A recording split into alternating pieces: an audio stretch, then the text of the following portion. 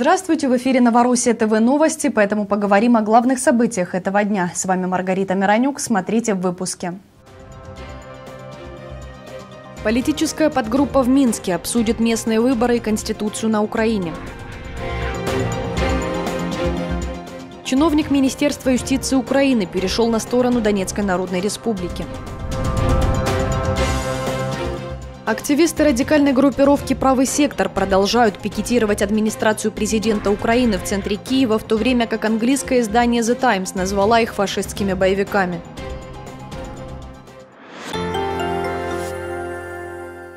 Представители Министерства обороны Донецкой Народной Республики предоставили очередной отчет о ситуации на фронтах государства. Интенсивность обстрелов украинской стороной за прошедшие сутки увеличилась, составила 51 нарушение режима прекращения огня. По территории Донбасса было выпущено 58 артиллерийских, 19 танковых снарядов, 204 мины калибра 82 и 120 мм. Также применялись зенитные установки, гранатометы и стрелковое оружие. В результате обстрела населенного пункта Зайцево с позиции 30-й отдельной механизированной бригады дислоцирован в населенном пункте Николаевка под командой Нестеренко получили ранения двое мирных жителей. Наиболее интенсивный артиллерийский минометный огонь велся по району аэропорта города Донецка и населенному пункту Спартак со стороны опытной Авдеевки. Ответственность за ежедневные обстрелы этих населенных пунктов лежит на командующем войсками оперативного командования «Север» генерал-лейтенант Колесник. Командиры военнослужащие вооруженных сил Украины, выполняя бесчеловечные приказы верхушки хунты, являются военными преступниками. Потери среди военнослужащих армии ДНР. Один человек убитый.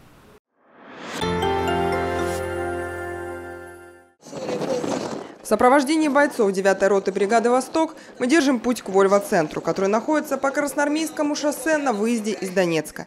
Яркая, буйная зелень садов и высокая трава сейчас скрывают изрытую воронками землю у обочин дороги по улице Софийской. Так сегодня выглядит Вольво-центр, один из самых обстреливаемых районов. Неподалеку аэропорт. Все дома, находящиеся в прилегающей территории, почти разрушены и находятся в руинах. В мирное время центр предоставлял услуги дальнобойщикам и туристам. Включал в себя СТО, ТИР, паркинг, гостиницу и круглосуточное кафе. На сегодняшний день от комплекса остались лишь обгоревшие стены. Миновав Вольво-центр, мы отправляемся дальше. В достаточно быстром темпе, следуя наставлениям наших сопровождающих. Ведь из расположенной неподалеку лесополосы «Зеленки» периодически работает снайпер. Это крайний блокпост сил Донецкой Народной Республики. В том направлении уже расположен населенный пункт Пески. До сил противника всего 700-800 метров. О ситуации на линии фронта знают лучше всего военнослужащие, которые несут свою службу на крайнем блокпосту. Режима прекращения огня, так какого ее вообще здесь нет. Огонь ведется здесь постоянно. Днем еще передышка, когда у них БК не, не хватает, они спят, отсыпаются и все такое прочее. Стоит только наступить чуть-чуть сумерок, начинается постоянная канитель. И они бьют. Доброволец с позывным «Кромы» воюет в войсках ДНР уже седьмой месяц. Он приехал из Орла в Донбасс, чтобы бороться с несправедливостью. Не могу больше смотреть, как гибнут дети, старики, внуки, братья и сестры во Христе. Я сам православный человек, и когда показывают по телевизору детей с оторванными руками, рожками, ножками, это, извините.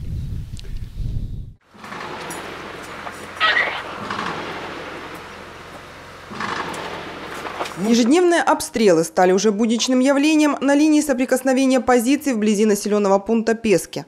Какое вооружение используют, чем ведут обстрелы? Начиная с легкого, заканчивая нонками и танками. АГСы, утюги, вот. И БМПхи подходят вот сюда вот на блокпост и вещь-блок. Э, вещь блок. Вот. Все, все. На какое, рас... на какое расстояние они подходят максимально близко? Самое близкое расстояние, они метров 500-400 пытаясь подойти вот сюда. Ну, тут э, мы просто...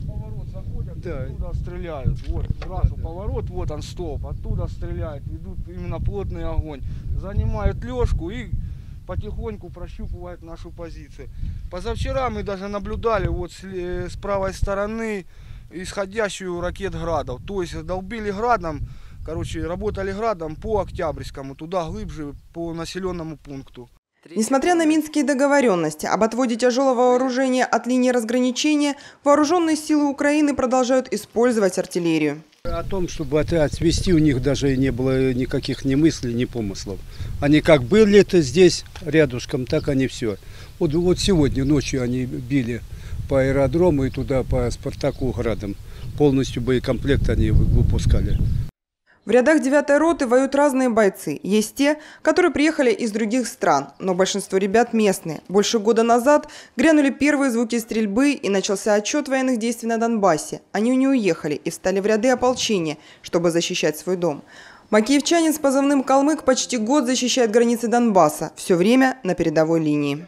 Я у себя в городе, я от них ничего не требую. Это они сюда пришли, причем пришли с оружием к нам. Регулярно, говорит он, слышно передвижение тяжелой техники противника. Меняют позиции, ездят колоннами, поодиночке ездят, ну, прячутся, то есть, как бы подтягивается сначала одна броня, потом вторая, третья, и начинают прорабатывать поселок Жабуньки, аэропорт, ну, естественно, и наше направление. Находясь в непосредственной близости от позиции ВСУ, бойцы бригады «Восток» вынужденно открывают огонь из стрелковых орудий только в случае, если противник приближается на небезопасное для жизни расстояние. Только вот это стрелковое оружие. Все, максимум. Никаких более тяжелых. Вот, потому что мы придерживаемся минских договоренностей. Примите, Оксана, эти цветы. Так требует того мой внутренний голос. Смотри, я обломал шипы, чтобы ты, не дай бог, не укололась. Спасибо. Время возвращаться было тихо и спокойно. Обратный путь лежал тем же маршрутом. Однако интервью с бойцами и съемку обратного пути пришлось резко прервать. Видимо, заметив лишнее передвижение неподалеку от своих позиций, то есть на крайнем блокпосту, а, украинские военные открыли огонь. И сейчас мы вынуждены пережидать, когда он закончится. Около часа мы провели в убежище, прежде чем смогли добраться до более спокойного места. Вот так сегодня выглядит режим тишины со стороны украинских военных. Оксана Волчонок, Павел Припа, телеканал «Новороссия», Вольво-центр, город Донецк. Из-за агрессии Киева чиновник Министерства юстиции Украины Сергей Кучерук перешел на сторону Донецкой Народной Республики. Первый заместитель начальника Украинского управления юстиции в Донецкой области Сергей Кучерук объявил об отставке. Он аргументировал это своим несогласием с военной политикой Киева. В настоящий момент пока Кучерук в отпуске. Он официально находится в должности первого замглавы областного управления юстиции, которая базируется в Краматорске. Также Кучерук заявил, что так и не смог дождаться, когда уже правительство Украины адекватно подойдет к решению конфликта в Донбассе. В Донецке он принял твердое решение перейти на сторону ДНР. Я принял решение уволиться из органов юстиции Украины по причине того, что не согласен с действиями правительства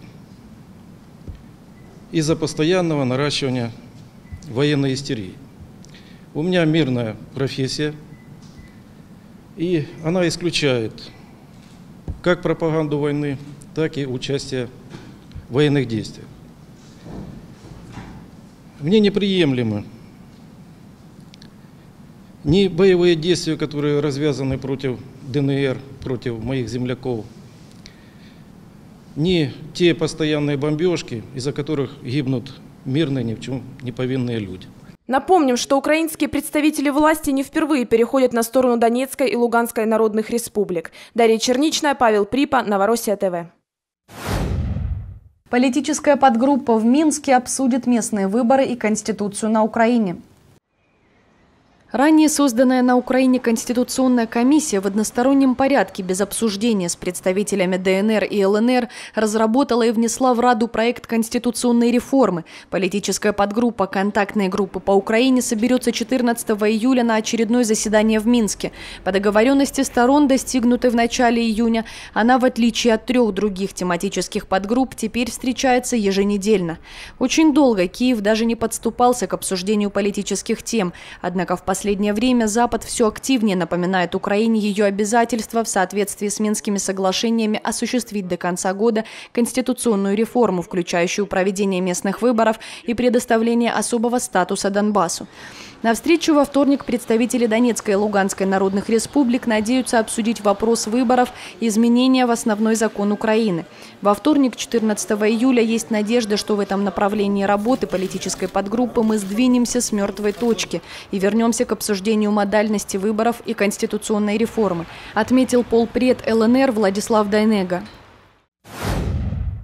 Тем временем в Вене соглашение по иранской ядерной программе достигнуто. Источники сообщают, что оно вступит в силу через 90 дней после его утверждения Советом Безопасности ООН. Все участники переговоров принципиально согласны выйти на итоговое соглашение. В настоящий момент проводится доработка его текста. Как написала сегодня ночью на своей странице в социальной сети заместитель директора Департамента печати и информации Министерства иностранных дел Российской Федерации Мария Захарова, надежда, что десятилетние переговоры завершатся удачно, есть. По неофициальной информации, в итоговом соглашении будет содержаться пункт, увязывающий снятие санкций с Тегерана с необходимостью урегулирования вопросов так называемого бывшего военного измерения иранской ядерной программы. Моментального снятия санкций не будет, сообщил член одной из западных делегаций.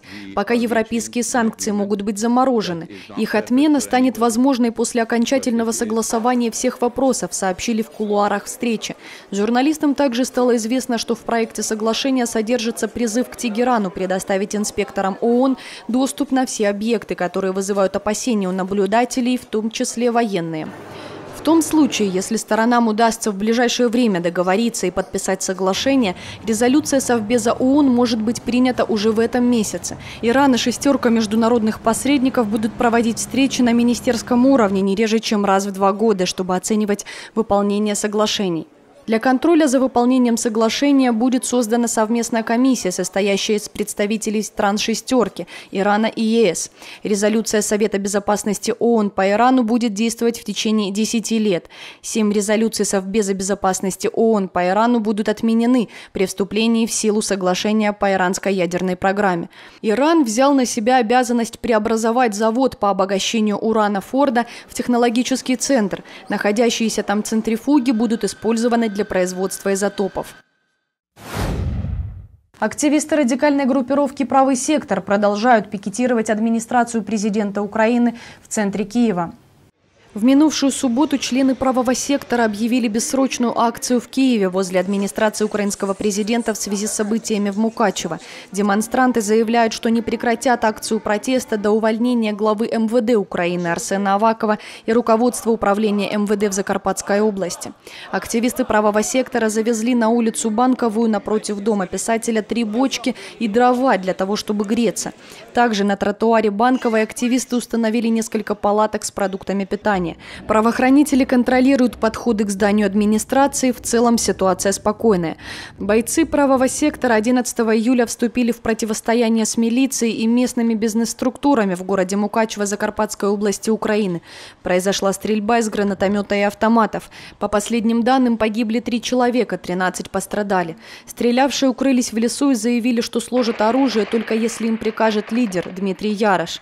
Они объясняют свои действия борьбой с контрабандой, которой, по их утверждениям, причастны местные чиновники. Ярош прибыл на место происшествия, но приказы сдавать оружие не отдавал. Идут переговоры. По всей Украине прошли митинги сторонников праворадикалов. Накануне служба безопасности Украины сообщила о задержании двух бойцов правого сектора. Радикалы заявили, что бойцы сдались добровольно, чтобы предоставить полную информацию о ситуации в Закарпатье.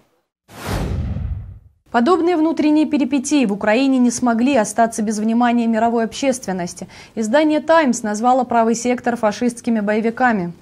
Истинный взгляд на события, происходящие в Украине, начал пробиваться сквозь демократическую пропаганду Запада.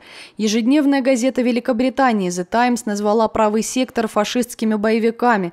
Данная статья под заголовком «Киев вынужден бороться со своими фашистскими боевиками» вышла в номере «The Times» от 13 июля. Нафтогаз Украины подписал меморандум с американской компанией Florenta Resources Corporation о реализации проекта импорта СПГ на Украину из терминала американской компании в Грузии. Об этом говорится в сообщении Нафтогаза. Согласно меморандуму, стороны договорились сотрудничать в сфере инвестирования в разведку и разработку нефти и газа Украины, а также реализации проекта импорта СПГ с мощностей американской компании в Грузии. Подтвержденные запасы природного газа грузинской компании составляют около 300 миллиардов кубометров. Меморандум вступает в силу с даты его подписания и действует в течение двух лет. Frontier Resources Corporation, международная компания, занимающаяся разведкой и добычей газа и нефти, была основана в 1990 1996 году. Стратегия компании состоит в поиске перспектив по добыче углеводородов на рынках стран Восточной Европы, которые относятся к Черноморскому бассейну. Кроме того, представительство американской компании Chevron Ukraine объявило о прекращении своей деятельности на Украине. Об этом говорится в заявлении представительства. Сообщается, что соответствующее решение Совет директоров «Шеврон Юкрейн» принял 2 июля этого года. В документе отсутствуют другие подробности. Компания «Шеврон Юкрейн» и ООО «Надра Олеска» 5 ноября 2013 года подписали соглашение о разделе продукции по добыче углеводородов на Олесской площади, Львовской и Ивано-Франковской области. Представительство «Шеврон Юкрейн» было зарегистрировано в январе 2013 года. Прогнозные ресурсы Олесской площади оценивают оцениваются в почти 3 триллиона кубометров газа. Ежегодная добыча на этом участке может составить 5-10 миллиардов кубометров. Предполагалось, что «Шеврон» на первом этапе, это 2-3 года, направит на сейсмику, разведку и бурение скважин порядка 350 миллионов долларов. Сотни добровольцев ежедневно приходят в военкоматы ДНР с целью записаться в ряды вооруженных сил республики. Корреспонденты телеканала «Новороссия ТВ» побывали на одном из призывных пунктов и своими глазами увидели, как все происходит. 14 июля в одном из военкоматов Донецка, находящемся в Ленинском районе города, проходила очередная военная комиссия добровольцев, желающих служить в армии Донецкой Народной Республики. Бывшие шахтеры, металлурги, рабочие, водители и строители решили встать на защиту своей родины. Сегодня проходите медкомиссию? Да, уже все прошел, иду в ополчение служить. Какие войска знаете? Да, уже нас сказали, в Донецке буду служить в роте обеспечения. Каким работали до войны? В шахте. Да, розом работал. В шахте, проходчиком. Сколько лет? 38, 39. А работали в шахте сколько? 18 лет в шахте отработал. Почему идете воевать? Ну как почему? Потому что надо свою родину защищать от этих всех фашистов. Они нас как обзывают, что мы будем смотреть. Военный комиссар ДНР рассказал о том, как проходит набор в армию ДНР и что движет будущими бойцами, добровольно вступающими в ряды вооруженных сил республики. Военным комиссариатом проводится набор на военную службу военнослужащих по контракту. Набор осуществляется ежедневно. Люди, желающие защищать свою родину, прибывают к нам постоянно. Количество не будем указывать, наверное, в связи с тем, что это военная тайна.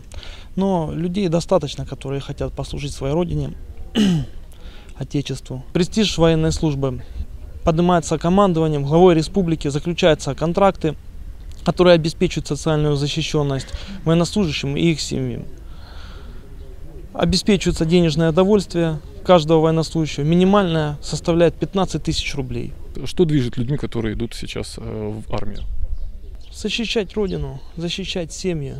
Я думаю, что движет та обстановка, та ситуация, которая складывается сейчас. Политическая обстановка, на фронтах обстановка, люди устали, боятся, поэтому они приходят защищать Родину, защищать и против агрессора.